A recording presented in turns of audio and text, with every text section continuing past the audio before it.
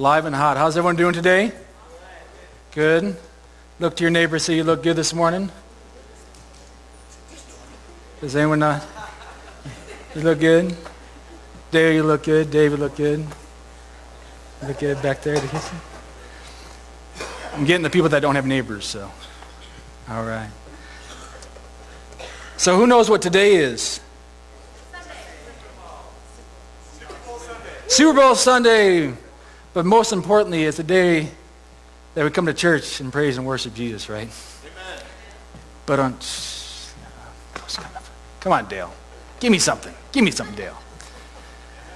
Amen. No, we're just. I'm glad that you guys all made it out here today to uh, come and worship our Lord and Savior Jesus Christ. Before we get uh, started, we're going to say a prayer, but you know, we're going to do. Uh, who, who's a Patriots fan? Anyone Patriot fans here? Anyone brave enough? Woo, woo. One, two, three, four, five. Wow. We doubled first service. We had three first service. And we're five or six this service. And the rest are Seahawks. Anybody going for, anyone just kind of even or equal? Bryce, who are you going for? Broncos? Lions. I know Cowboys back there. Steelers. So we all got our we all got our teams. So during junior high, I usually say on Wednesday nights, anyone have a prayer request? And all the young men say, please pray for my team to win. And please help me jump higher, and please help me north beat south and east and west and all these little football teams and basketball teams. And I love it. It's great. So we pray for them. So I'm sure all the older men have the same prayer request that our football team wins. So we will pray for the Patriots and the, the Seattle Seahawks after afterwards, maybe. And uh, just pray that's a good game. But before we get started on that, we'll just say a blessing over the, uh, the service and uh, get going. So, dear Lord, just thank you for this day. we thank you for this time that we get to uh, come together and just fellowship and worship you and just uh, be in your presence. And just, just pray that our hearts, our minds, our ears will be open for what you have for us. I pray that you'll be able to use my words to uh, enlighten, to further your kingdom, to give wisdom, not to hinder, but to encourage. Uh, and we just pray that uh, everyone that is not here is safe. And we just thank you for everyone that made it here on this Sunday morning. We love you, we love you, we love you. And everybody says, Amen. Amen. All right. So, today, we're going to be talking about identity. Identity in Christ. And Pastor Brian did a fantastic job in the bulletin and gave us a little thumbprint, fingerprint right there. Everyone's fingerprint is different, right? So, so today we're going to be talking about our identity in Christ and how important it is for us to understand who we are in Christ, right? And understand what God says about us and how we can input that into our life to help us further what God has in store for us and to build us up. Uh, finding our identity in Christ, uh, what he thinks of us, what he, what he says about us, uh, what he has in store for us, and how he made us. Um, everyone say, I am God's masterpiece. Outstanding. Our major, uh, our main uh, scripture today is going to be Ephesians chapter 2, verse 10. So if you have a Bible, you can flip those pages to Ephesians chapter 2, verse 10. If you do not have that, you can look up on the main screen. And we're going to read it from the New Living Translation. And this just happens to be just happens to be uh, your pastor, Pastor Ken's favorite verse. He has this on all his shirts and hats and all that kind of stuff. So, Ephesians chapter 2, verse 10. It says, For we are God's masterpiece. He has created us anew in Christ Jesus so we can do the good things he planned for us long ago. For we are God's masterpiece. Say that one more time. For we, that's masterpiece. Outstanding. So, what is a masterpiece? The defi- definition of a masterpiece from the dictionary says, in modern use, refers to a creation that has been given much critical praise, especially one that is considered the greatest work of a person's career or to a work of outstanding creativity, skill, workmanship. God uses the term, we are his great masterpiece. We are God's masterpiece. He spent, uh, he gave all of his creativity, all of his thinking, all of his being and making us, and he calls us his masterpiece. Uh, the question I have for you guys today is can we accept God's view of us? Can we accept that he calls us his masterpiece? Can we accept, um, or, or do we let the world tell us who we are, right? So that's kind of what we're going to talk about today. I'm going to give you uh, an example from my life, how my identity uh, was shaped, informed, how it affected me, but then how my belief uh, in my walk with Jesus Christ reshaped it and is now what I claim, right? So, usually I come here Saturday night and uh, practice my uh, sermon a little bit in front of empty chairs and kind of give it give a time a timetable so I didn't do that this Saturday, yesterday. I was a little bit busy, but I was doing it in my head, but I, I didn't get a time. So first service was pretty short. The kids' workers were pretty happy, but they're like, we didn't even get to finish our whole lesson. So you don't have to wait too long. Well, it'd be a short one, but it'd be a good one, hopefully. Um, so, can we accept God's view of us as being his masterpiece? Or has our life experiences had such a great impact on us that we cannot see what our Heavenly Father sees. Um, a little story about me. Um, from an early age, I can remember, from when I can remember second grade to graduating high school, I was considered learning disabled, LD, learning, I had a learning disability. This wasn't uh, something that that I was proud of, but it was something that the teachers and the professionals that tested me and in school said I had, right? So I went to, every year I went to my own class, you know, they had one little block of, I could go to and have my own teacher and I could get special help and I could take tests for longer, all because I had this, this title or this thing, I was learning disabled, right? So that affected my outlook for basically the rest of my life, you know? It, it, and it wasn't, you know, it wasn't necessarily a bad thing, right? That because it, it was just something, right? It was something that the professionals said I had, the teacher said I had. I, you know, kind of used it, you know, I, not used in a bad way, but I, I had it. And, uh, but it affected how I saw myself as a student, as a person, and what I thought I could accomplish later on in my life, right? Because it kind of puts you in a little box. Um, so throughout my whole high school, elementary age, whatever school, I had that. Um, it, it, didn't affect me too much, but I knew I, I had that title, right? Um, so the question I put down is who knows that being labeled something affects you in some fashion or form. It can be both positive or negative. There, I put down some simple things of you could be considered smart or slow. You could be considered uh, strong or weak. You could be considered, um, you know, good looking, not so good looking. You know, you, even your parents can can label you. You could you can. This is my athletic child. This is my smart child. This is my troublemaker child. You know, all these different th- these titles and labels that we just automatically give our kids uh, affect their identity in some way, fashion, or form, right? And sometimes it's positive, sometimes it's negative, but they all have an impact on us. In mine, with uh, the learning disability or learning disabled, you know, it affected, you know, what I thought I, what I thought I could accomplish throughout my life. And, uh, you know, the teachers didn't mean to do that. The, the professionals that, whatever, tested me didn't mean to do that. It just happened. Um, when I was in the Marine Corps, I joined the Marine Corps in the year 2000, right after high school, and uh, I was in boot camp. And if, anyone has ever been in the military, you know never to raise your hand, right? When they ask a question, you just you don't volunteer, you don't raise your hand, you don't say a word just because you just don't do it. And I wasn't that smart, hence the learning disabled, right? Just that was a joke on myself, so I can make fun of myself. I raised my hand. They asked the question, Did, uh, does anyone have trouble learning? And of course, in my mind, since I've been labeled it for years, I'm like, yes, I do. I have, I have issues learning.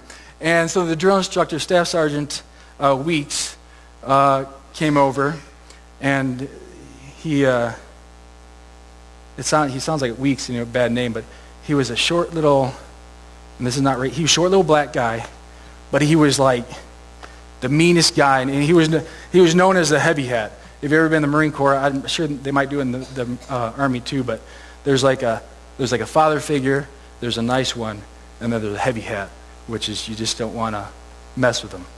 So anyways, he came over to me, and he asked me what my issue was, and I told him I had a learning disability. I was LD. And of course, he had no clue what LD meant, and told me, no, you don't. And from that day forward, I'm like, okay, I don't. which, which might sound really funny and really stupid, but when you have a drill instructor that's a heavy hat in front of you telling you that you don't have something that you've been told for your entire life that you have, and he's in your face spitting at you, telling you that you don't have it, that I don't know what that is, you say, yes, sir, and you move on and you deal with it, and you don't rely on the excuse or the title that's been given to you your whole life, you, you, you and we'll get to this, but you, you, you get rid of that baggage that you've been carrying with your entire life, you move on, and you just do it. From that day forward, I, you know, got out of the Marine Corps. I went to college, finished college, got my, my um, not building myself up, I'm just letting you kind of know. Got my bachelor's in business, business administration, and now I'm working on my master's degree from Liberty University. Would I, ha- I have ever been able to do that if I, did, uh, if I didn't have that experience of a drill instructor being in my face saying, I don't know what that is, you don't have it. He didn't say I'm smart, but basically he said, you, you, you cut this off and you do what you're supposed to do, right? So, funny, but that's when that title that I had went away.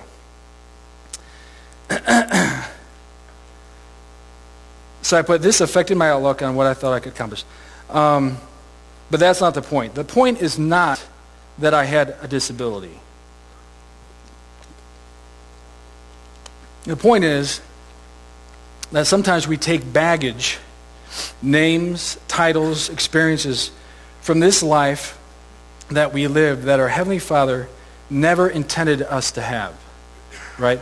Sometimes we take on different experiences from our past and we drag them with us throughout our whole entire life that God said, I've already forgiven you of this.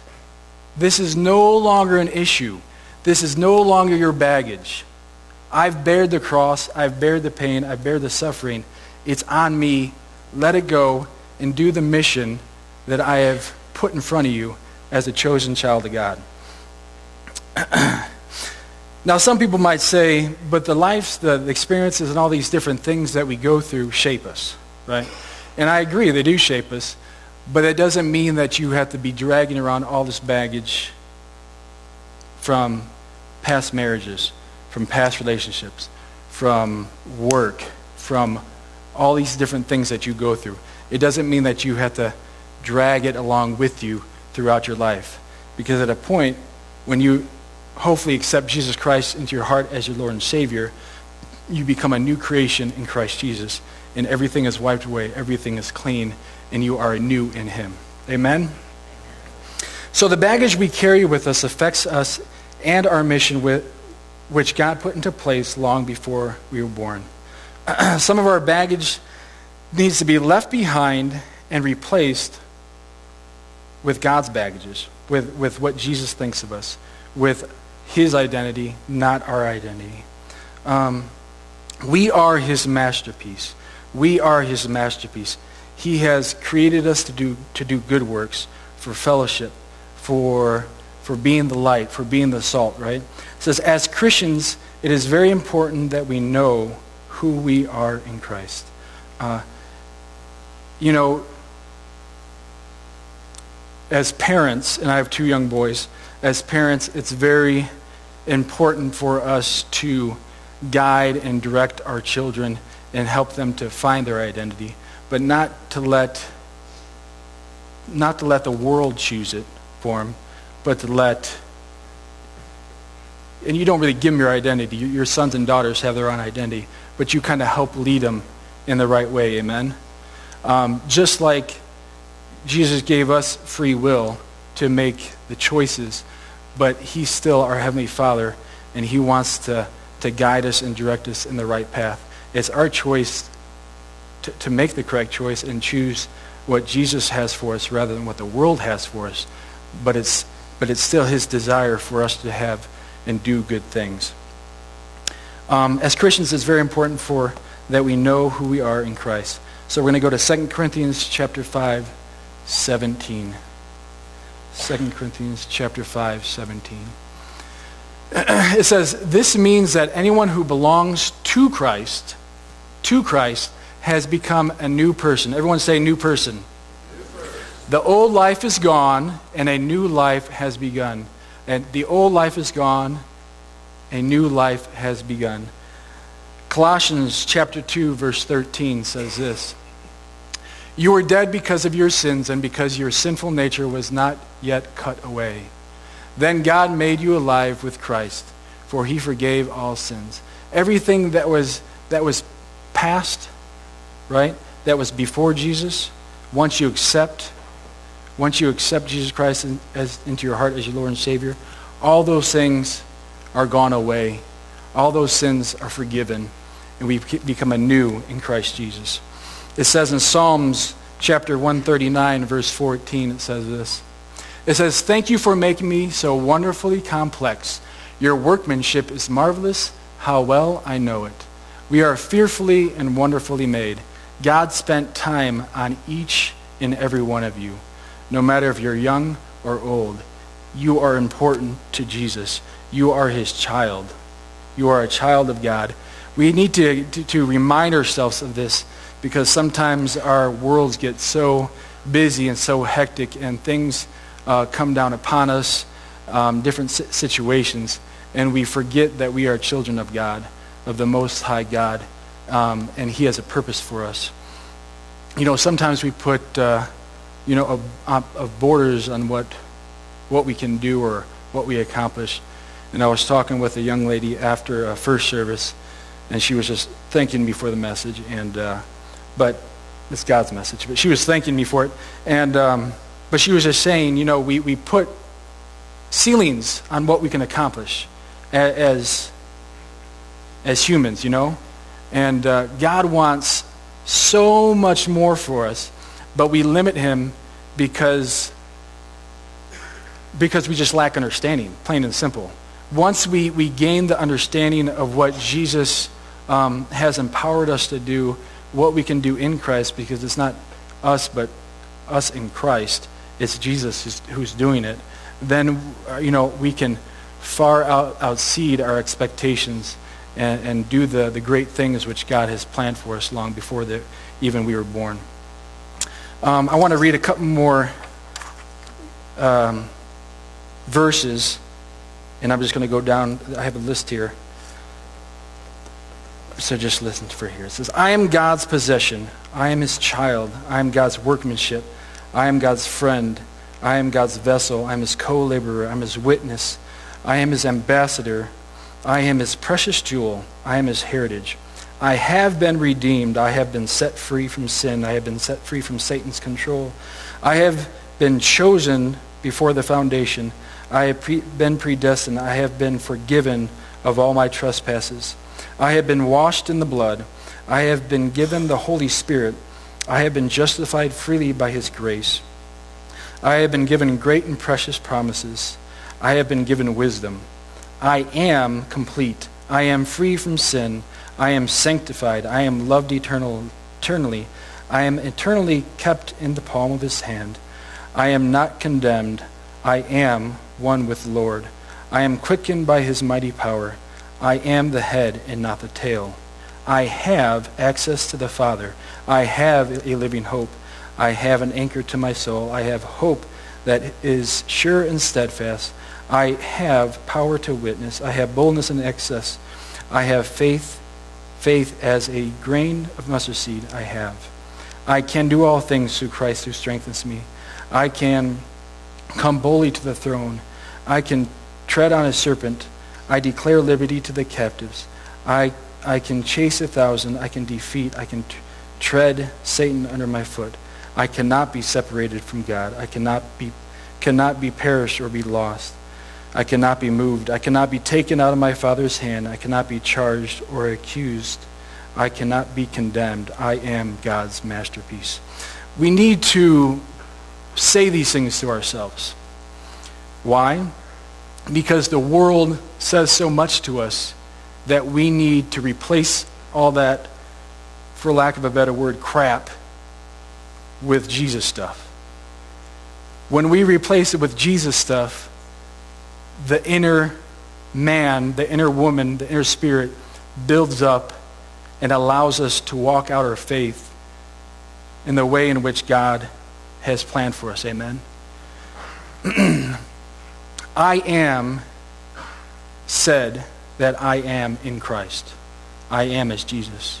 He said that we are in Christ.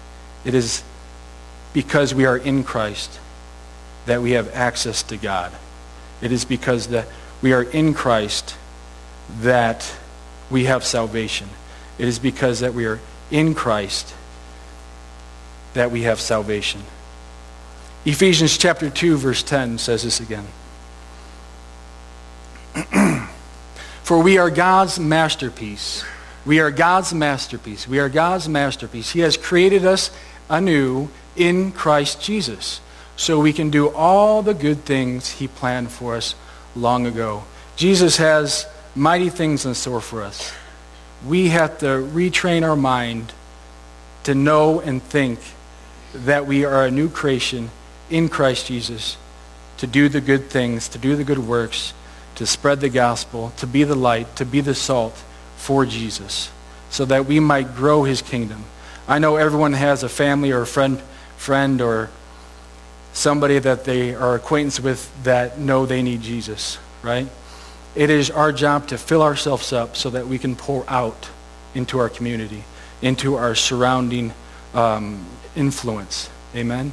It's just not come here on Sunday, get filled up, and keep it all for ourselves. No, it's come to Sunday, come to Wednesday, come to Monday, come to Thursday, get filled up, go out into the world, pour yourself out, come back, fill yourself up, go back in the world, pour yourself out, so that we can make an impact and build his kingdom. I am his masterpiece. You are his masterpiece. We're going to watch a quick video, but I just want you guys to remember you are his masterpiece.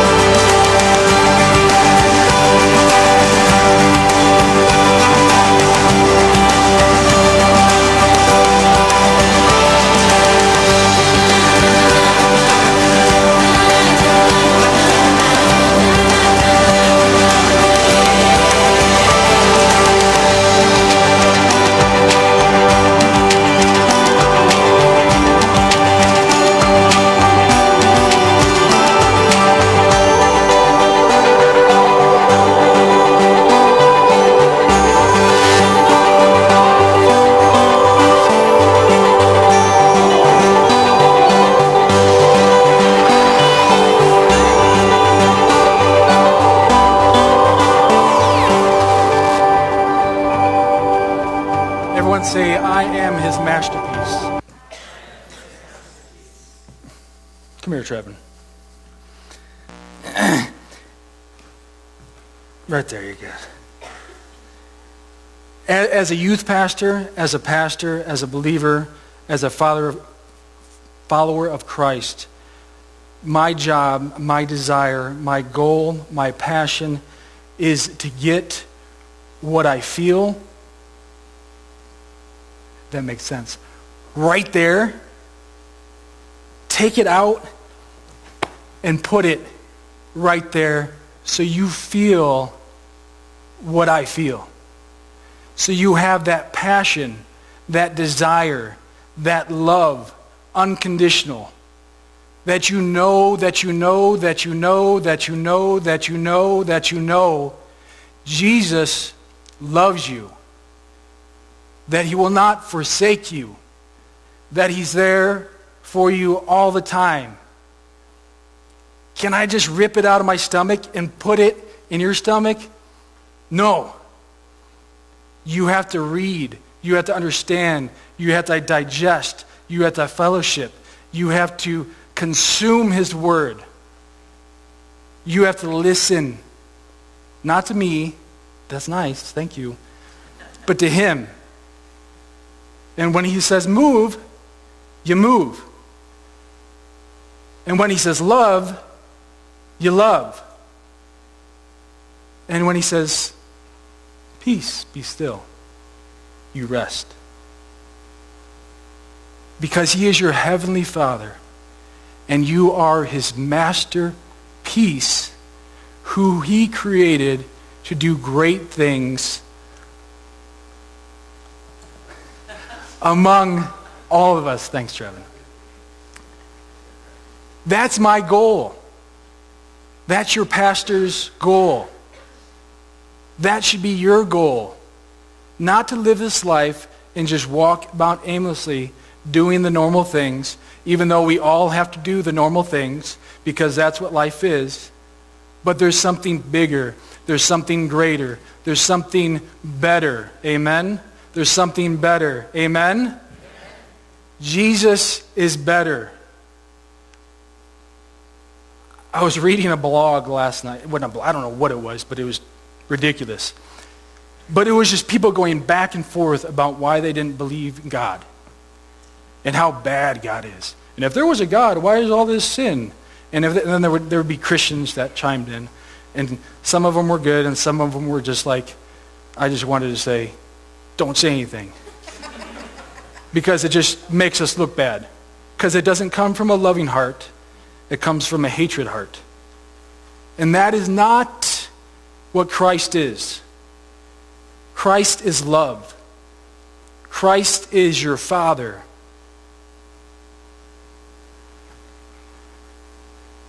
You are his masterpiece. Don't let the stuff of your past bring you down. Get rid of the baggage. Jesus forgave it. The stuff in the present, give it up to God. He can handle it. Your future, ask God for wisdom. He gives it liberally. It says it in the Bible. That's not Josh's words. That's his words. Ephesians chapter 3, verse 14 through 19 says this. When I think of all of this, I fall to my knees and pray to the Father the creator of everything in heaven and on earth. I pray that from this glorious unlimited resources, he will empower you with the inner strength through his Spirit. Then Christ will make his home in your hearts as you trust in him. Your roots will grow down into God's love and keep you strong. And may you have the power to understand, as all God's people should, how wide, how long, how high, how deep his love is.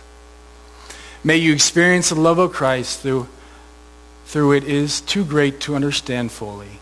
Then you will be made complete with all the fullness of life and power that comes from God.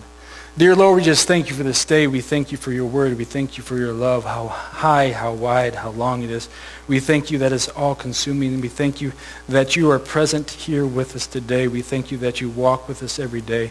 We thank you for everyone that made it out here. We thank you for the eyes and the ears that were open today to receive your message, the message that you made us a masterpiece, your masterpiece, that you love us unconditionally. We pray that we can be complete in you because we are in Christ Jesus. We pray that we can go out into the world and overflow onto other people so that they might hear the message and see the message, the gospel message, the good news, dear Lord, because we just want to spread your love and your word to further your kingdom so more people might have the feeling of Jesus and the relationship with Jesus.